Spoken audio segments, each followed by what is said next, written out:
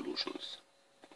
So, wir kümmern uns heute hier um die Hinterradbremse, eine Mast 3F. Ich werde jetzt gleich den Wagen hochbocken hinten, erstmal an einer Seite. Äh, dann natürlich mit einem Bock noch hier abstützen und als nächstes dann das Rad abschrauben. So, wir sind jetzt hier an der Hinterachse. Ich habe das Rad runtergenommen. Wagen ist wieder aufgebockt, gegen Wegrollen gesichert.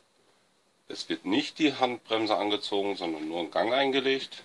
Unterstellbock ist auch nochmal runtergestellt, dass der Wagen nicht unkontrolliert runterknallen kann. Wie gesagt, Rad ist runter. Hier ist eine Zentrierschraube, eine kleine Kreuzschraube. Die habe ich auch schon runtergedreht oder rausgedreht. Und die Bremsscheibe ist ab. Nicht die Bremsscheibe, die Bremstrommel natürlich. Da gucken wir uns kurz die Innenseite an. Ist eigentlich noch ganz okay. Ja, beim nächsten Mal könnte man sie mit ersetzen. Oder müsste man sogar. Aber es reicht erstmal. So, dann haben wir hier die Hinterradbremse vor uns. Hier ist der Bremszylinder und hier die beiden Auflaufbacken. Das nennt man die Primär und die Sekundär. Immer zur Wagenfront ist die Primär, das ist die Sekundärbacke. Man nennt das auch Auf- und Ablaufbacke.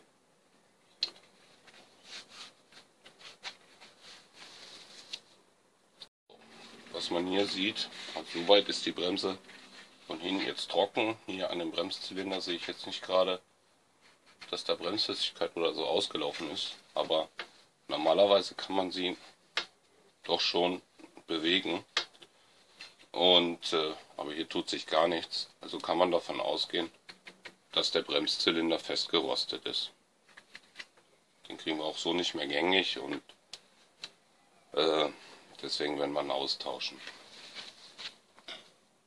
Um das jetzt hier auseinanderzubauen, nehmt ihr euch eine Zange und habt dann hier unten an dem Bremsbelag, packt ihr an und zieht das hinten aus diesem Anlagepunkt raus.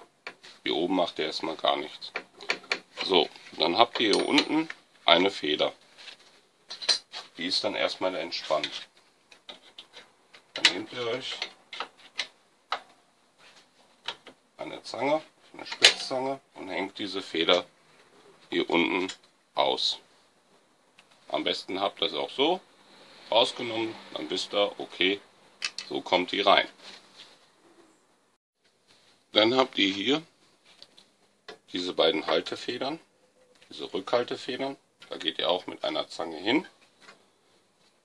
Die müsst ihr reindrücken, um 90 Grad drehen. Hinten diesen Stift festhalten.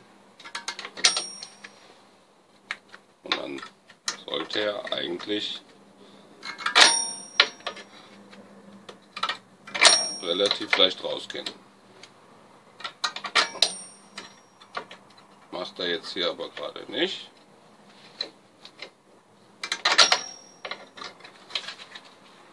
Weil er sich vielleicht da hinten mitdreht. Schauen wir mal. Okay. Habt ihr gesehen?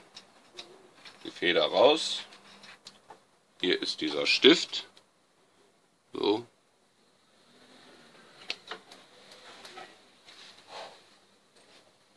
Das ist dieses Scheibchen. Ich hoffe, man kann es sehen.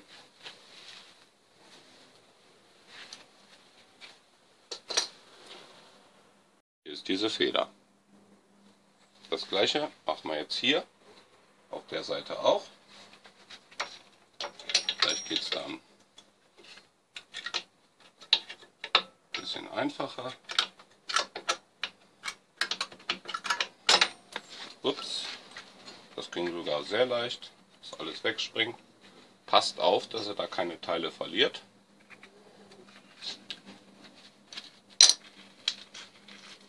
Legt euch alles schön zusammen.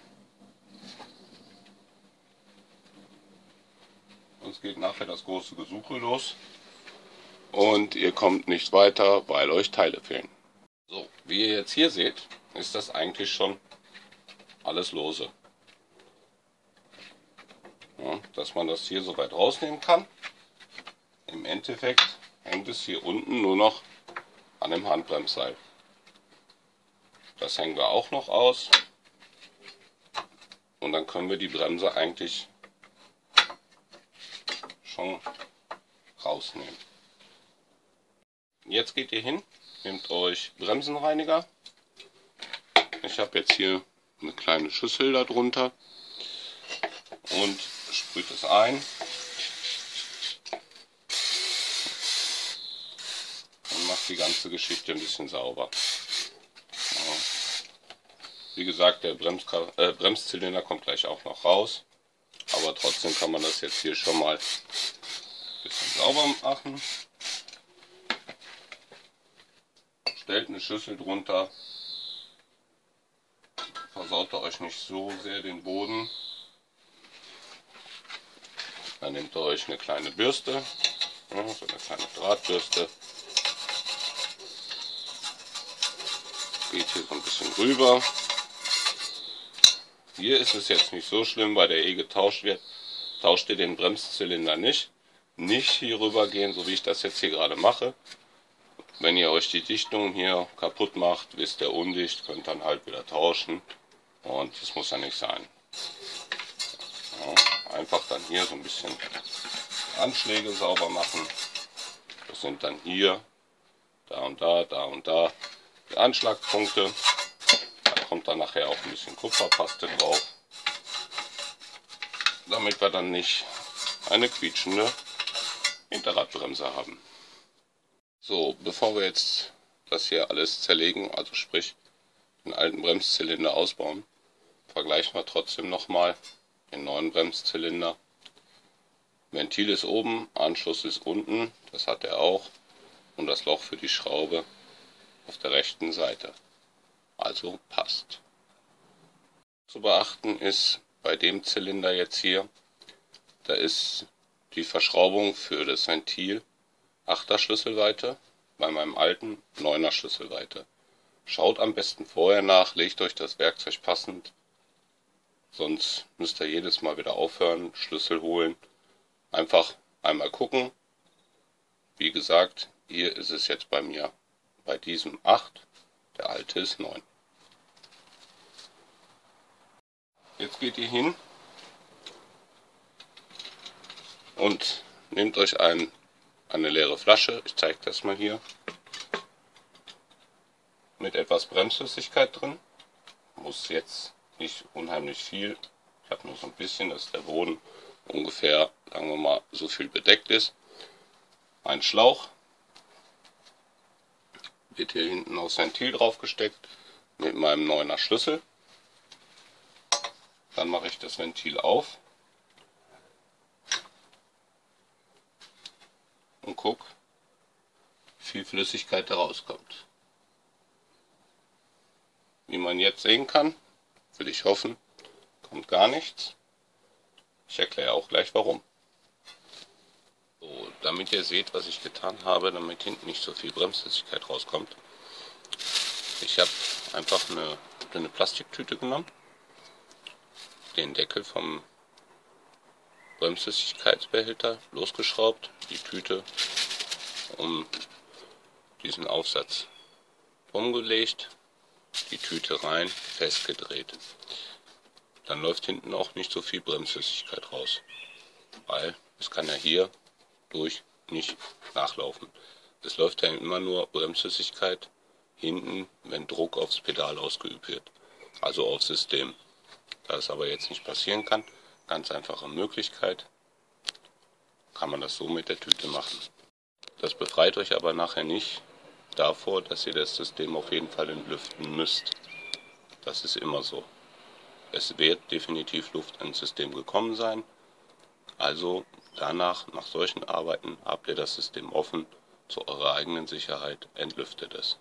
Dann geht ihr hin und öffnet die Leitung vom Bremszylinder.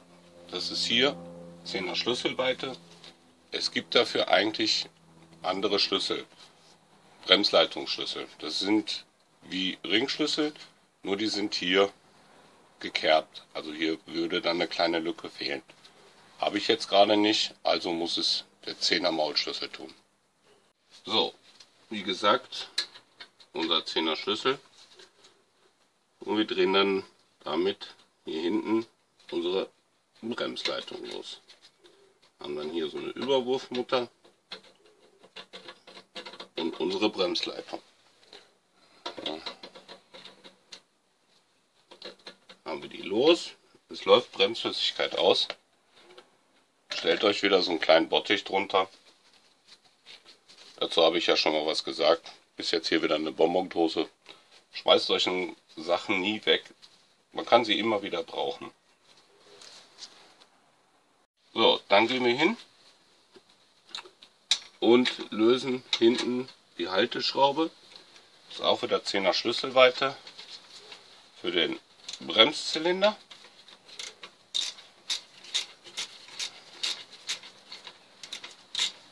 Drehen die raus.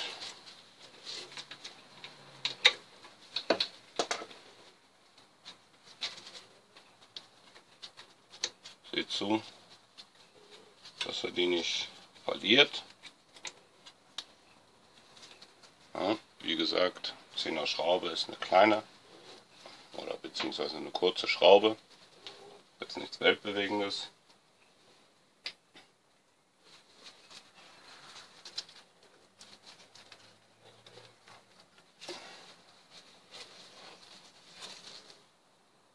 Dann könnt ihr den alten Bremszylinder rausnehmen. Könnte ein bisschen schwergängig sein.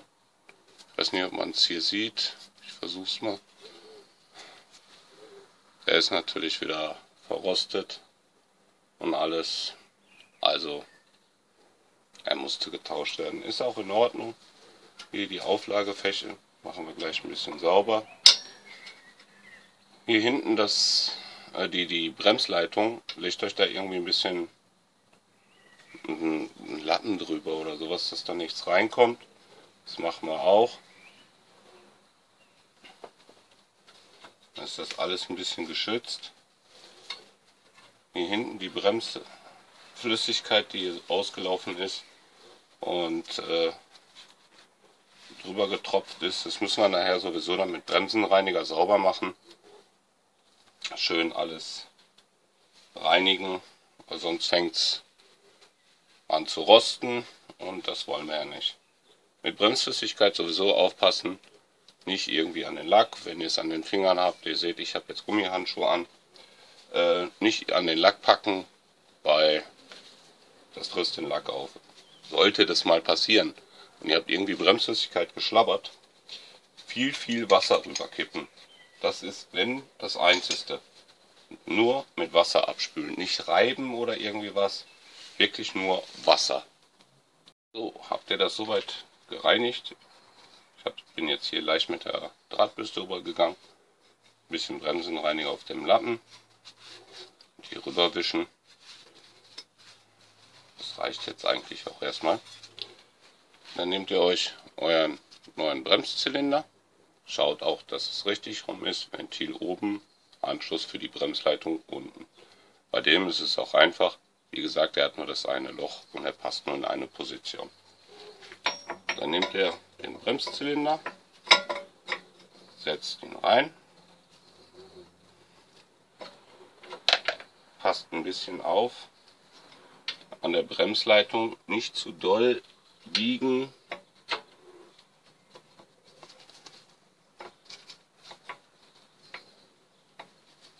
Setzt ihn an und setzt die Schraube an. Bevor ihr jetzt die Schraube, die Halteschraube für den neuen Bremszylinder ganz anzieht, ihr seht ja, viel ausrichten braucht man nicht, das zieht sich eigentlich mit der Schraube.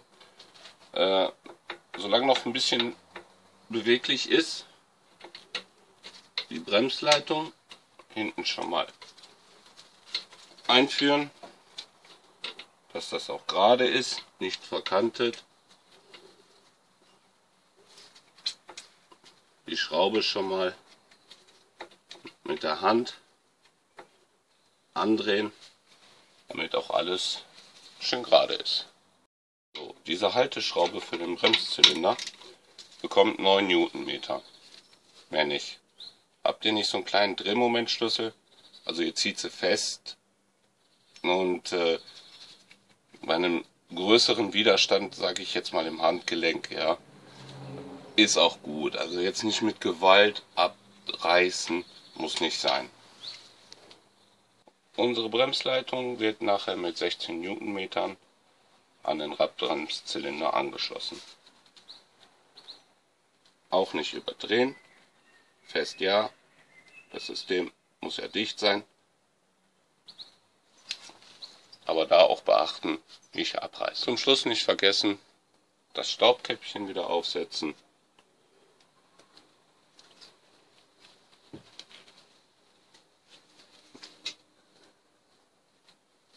Damit Ventil auch ein bisschen geschützt ist. Jetzt gehen wir noch hin, machen das hier mit Bremsenreiniger ein bisschen sauber. Die alte Bremsflüssigkeit, die ausgelaufen ist. Und dann bauen wir auch gleich die Belege wieder ein. Und fangen wir an und komplettieren wieder unsere Bremsbelege. Was ihr jetzt hier seht, ist die Bremse von hinten, so wie wir sie ausgebaut haben. Ich habe es jetzt einfach mal so aufgebaut, damit ihr es besser sehen könnt. Ihr habt hier nochmal den Vergleich. Hier ist der Hebel für die Handbremse. Das ist die andere Seite. Wenn ihr euch das so nebeneinander legt und dann einfach so umbaut, habt ihr es einfacher. So, was wir jetzt machen, wir nehmen hier etwas von unserer Kupferpaste. Ich habe das als Spray, es gibt es auch als Tube. Gehen hier hin, machen ein bisschen auf die Anschläge.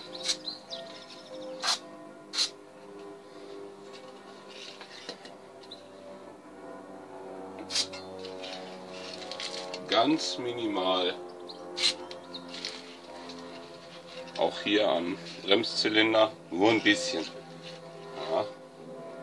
Man kann auch hier, wo das Handbremsseil reinkommt, auch ein bisschen. Alles nur ein bisschen geschmiert ist und auch nicht wahnsinnig quietscht.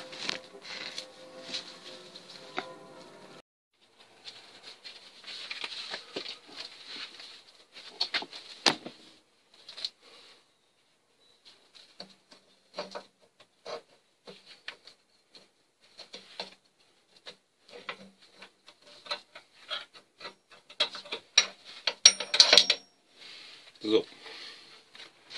So habt ihr es dann einmal komplett raus. Hier unten hängt es ja dann nur noch am Handbremsseil.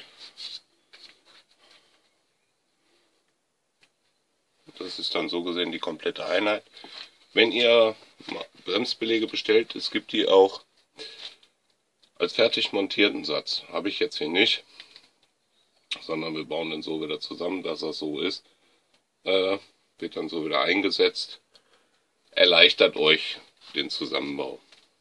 So, habt ihr das hier soweit eingelegt. Euer Handbremsseil unten eingehangen. Grob ausgerichtet den ersten Stift hier rein. Nehmt ihr euch die Feder und das Unterlegplättchen schaut so ein bisschen. Muss gerade sein. Ich stehe leider mit den Dingern immer ein bisschen auf Kriegsfuß. Ich brauche da mal ein paar Anläufe, bis ich die wirklich drauf habe.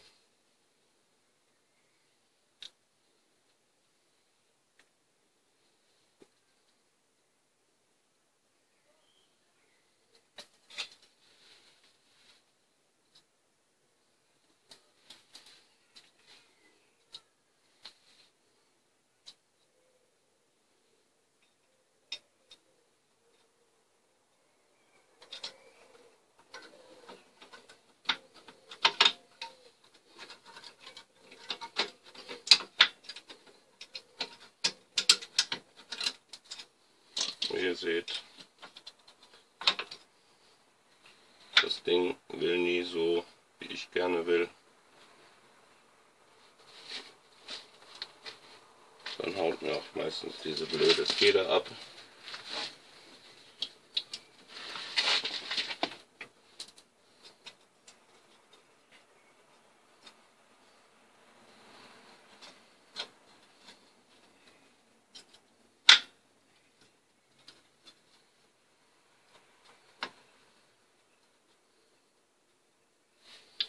Aber ihr müsst das da einmal vorher dran machen, weil sonst sitzt das nachher alles nicht richtig. Und wie gesagt,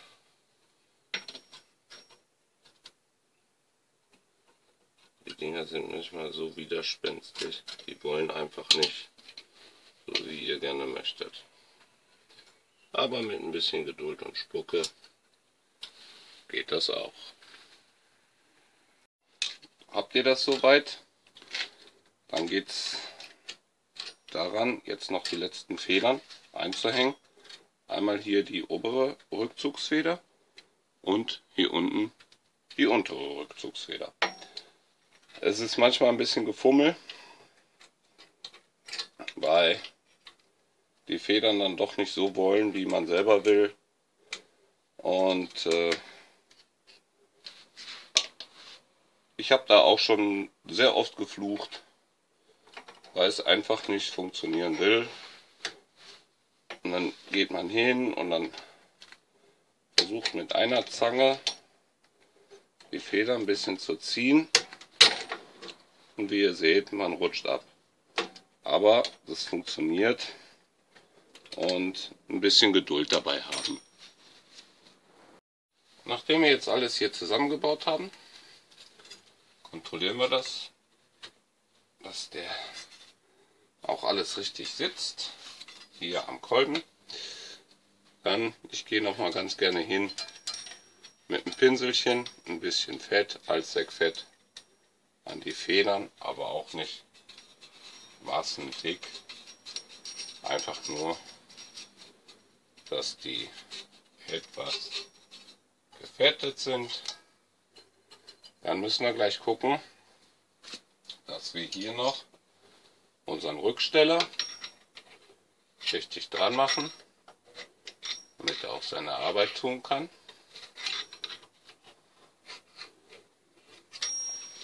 machen wir am besten mit einer Zange.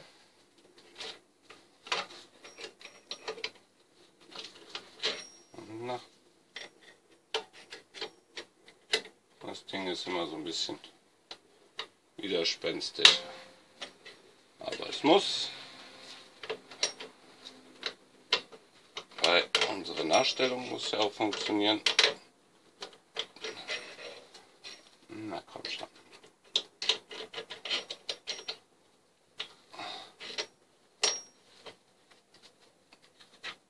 Zack. Da ist es drin. Dann schauen wir gleich noch. So, jetzt stellen wir noch unsere Nachstellvorrichtung ganz zurück, dass die Belege anliegen.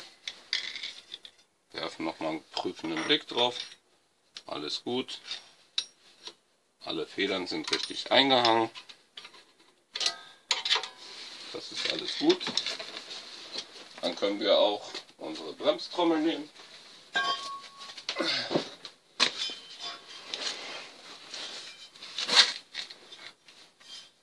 Die wir natürlich vorher auch sauber gespult haben. Setzen die drauf. Dann kommt hier noch die Kreuzschraube wieder rein.